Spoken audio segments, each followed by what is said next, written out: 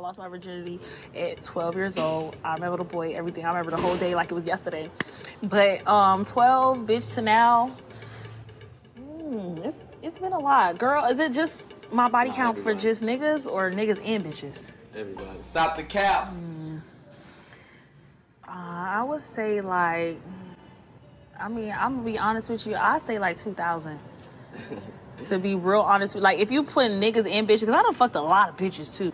So I be fucking niggas, I be fucking bitches, and I mean, I, you know what I'm saying? Like I ain't gonna front. Like I'm a I don't even know what to say to this other than she's a proud 304 that does not care about having an STD or catching a certain type of STD. She has sex with multiple niggas and females, so that pretty much makes her an ultimate 304. I don't understand female nature. You had sex at 12 and all of a sudden to now when you became a rapper you still had sex with all of the men and women so you might as well be a porn star based on what i'm seeing from this clip i tell you what if any female wants to get with me i'm gonna have to pass on that because i don't want to date no 304 or date nobody who's been passed around like a rad dog throughout her life i mean this is just I'm just flabbergasted of what I'm seeing right now. Like you, personally, I blame the mom. I don't. You see, when females are like this, you can tell they had no father figure in their lives for them to all crazy and sleeping with other dudes left and right, having unprotected sex and you slept with so many people in your career, how come you're not pregnant? How come you haven't had your blood work done? How come you haven't had no checkup? If you caught something? Like, I don't know how y'all be doing it. It's just so weird and strange that you allow yourself to go around and sleep with a bunch of guys that you barely even know. And the sad part about it is that this started at the age of 12. That young, that's just scary. And why wasn't the mom or the father knowing about this? It's beyond me. But I believe there's got to be something to the story. Ain't no way in the world that her body count is 2,000 people.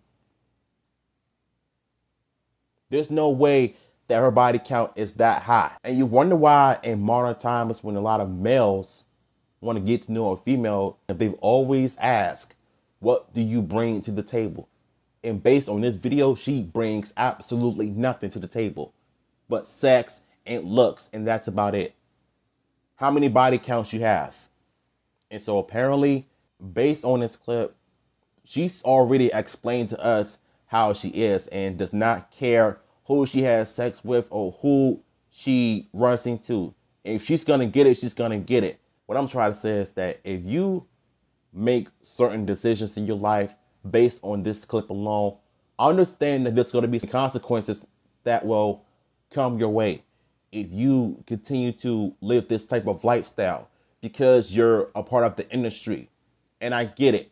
Once you become a part of something in the industry, they will have you do certain mess on camera and behind the scenes and off camera and behind closed doors, certain things will come to light if somebody failing to expose you. I'm not kidding. So many times we've seen a bunch of celebrities do certain things in the dark, whether it's a sex tape or somebody making out with who. I'm in the middle of the pandemic, this is still in the pandemic. Everybody is still catching COVID left and right. So I don't know if she caught COVID or not. It's beyond me, but this is just wild. And I'm just flabbergasted of what I'm seeing. So, to every fella that is watching this video, stay away from 304s like her or any other female that is like that. I'm telling you. It'll save you enough problems to deal with in your life.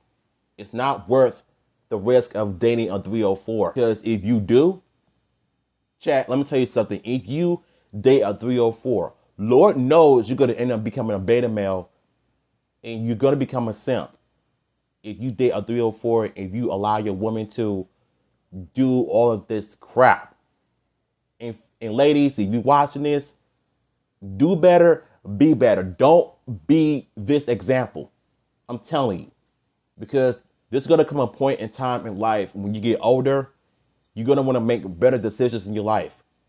Don't be this idiot right here that has a higher body count than any other female. And she slept with 2,000 niggas and women. So she should have been a porn star by now.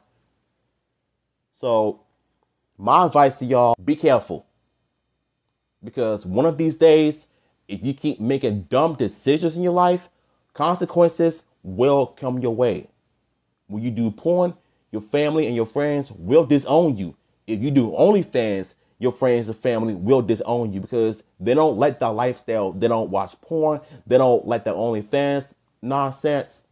They want you to do better, make better decisions in your life. But at the end of the day, this clip is everything I need to know about 304 and I got what I wanted. I got the answers I wanted. We got the answers we wanted. So I'm gonna go ahead and finish this clip before I end this off. Bitch, sexual partners, absolutely. Yeah, it is what it is. You know what? Hey, only God could judge me. I don't give a fuck. And you're right. Only God can judge you. But you're giving people plenty of reasons to judge you because of that. So don't go around expecting people to show you respect because of this lifestyle. And you wonder why a lot of men don't respect females nowadays. This is the result. And why do you think they canceled Andrew Tate? Because of him trying to warn us about females like this and the female culture.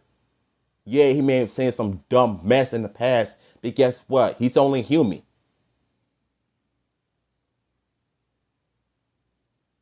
And a lot of feminists and females and male simps and angry women feminists get mad at people support Andrew Tate because of the facts he's speaking. They don't want to live in reality. They rather stay in this fantasy bubble.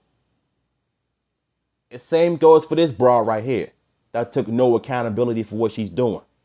And you're right, like she said, God can only judge you, but the rest of the world will continue to judge you because of this dumb decision you make to have a body count that's over 2,000. Two freaking thousand. I'm surprised you ain't got no STD. And I know this video might get demonetized. I don't care. I said what I said. This is a mess. So if y'all want the original video, I will post it in the description because this right here is a mess. Fellas, women, know your worth, do better, be better. That's all I gotta say. I'm gonna holler at y'all another video.